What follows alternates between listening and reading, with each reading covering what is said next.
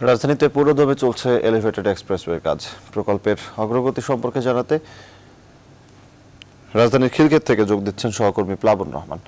প্লাবন elevated expressway কাজ চলছে। কে- মনে হচ্ছে? কাজের অগ্রগতি কেমন?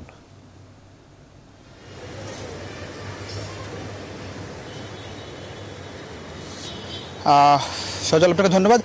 কাজের অগ্রগতি এখন মোটামুটি বেশ সন্তোষজনক বলা যায়। অনেক চড়াই উতরায়ের পরে আসলে এই প্রকল্পটি এ পর্যায়ে আসলে এসেছে। মাথা তুলে দাঁড়িয়েছে বলা যায় এলিভেটেড এক্সপ্রেসওয়ে পিলার উঠছে বেশ দ্রুত গতিতে এবং কাজ এখন বেশ দ্রুত গতিতে চলছে। সেটি নিয়ে মোটামুটি সন্তুষ্ট যারা এর সঙ্গে সংশ্লিষ্ট রয়েছেন, কর্তা ব্যক্তিরা রয়েছেন।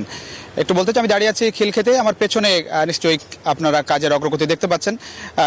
এগারোটি স্প্যান কিন্তু এরই মধ্যে বসানো হয়ে গেছে পিলারের উপরে। এবং এখান থেকে আসলে একেবারে এই বিমানবন্দর থেকে বিশ কিলোমিটার পর্যন্ত এই উড়াল সড়ক যাবে। একেবারে এই ঢাকা চট্টগ্রাম মহাসড়কের কুতুবখালি গিয়ে কিন্তু এটি যাবে। বলতে চাই যে বিমানবন্দর থেকে যানবাহন উঠে একেবারে নিরবচ্ছিন্নভাবে কিন্তু চলাচল করতে পারবে।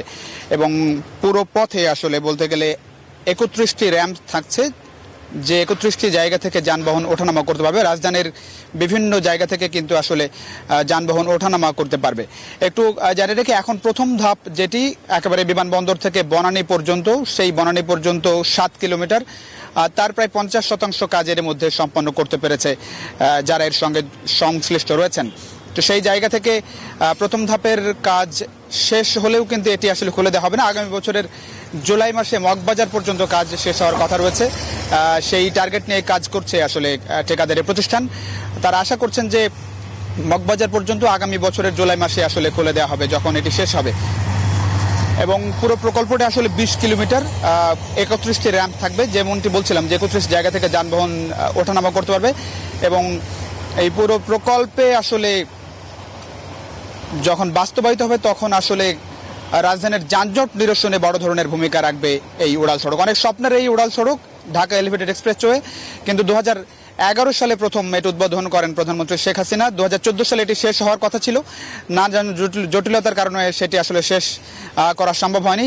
মূলত দু হাজার চোদ্দ সাল থেকেই এটির কাজ আসলে শুরু হয়। এখন এটির মূল টার্গেট আসলে দু হাজার বাইশ সালের মার্চ মাসে এটি শেষ করার টার্গেট নিয়ে কাজ করছে ঠিকাদারি প্রতিষ্ঠান, যেটি একেবারেই বনানী থেকে বনানী যে রেল রয়েছে, রেল লাইন, সেই বনানী রেল লাইন ধরে রেল লাইনের উপর দিয়ে আসলে এটি কমলাপুর পর্যন্ত যাবে রেল রেল লাইনের উপর দিয়ে। কমলাপুরের পরে সায়দাবাদ যাত্রাবাড়ি হয়ে এটি আসলে চট্টগ্রাম ঢাকা, চট্টগ্রাম মহাসড়কের কুতুবখালী গিয়ে শেষ হবে। তো মোটামুটি কাজ মোটামুটি সন্তোষজনকভাবে এগোচ্ছে, সবাই আশা করছেন যে এখন যে টার্গেট ঠিক করা দুহাজার বাইশ সালের মার্চ মাস, তার মধ্যে এটি আসলে সম্পন্ন হবে। সেটিও একটি বড় চ্যালেঞ্জ কারণ বাংলাদেশের বাস্তবতায় বিভিন্ন মেগা প্রকল্পে অনেক বেশি দীর্ঘায়িত হয় সময়। তো মোটামুটি এই ছিল আমার কাছে খিলক্ষেত থেকে ঢাকা এলিভেটেড এক্সপ্রেসওয়ের সবশেষ খোঁজ খবর। প্লাবন, আপনাকে অসংখ্য ধন্যবাদ। এলিভেটেড এক্সপ্রেসওয়ের কাজ এগিয়ে চলেছে সহকর্মী প্লাবন রহমান জানাচ্ছিলেন সেই কাজের অগ্রগতির বিষয়ে।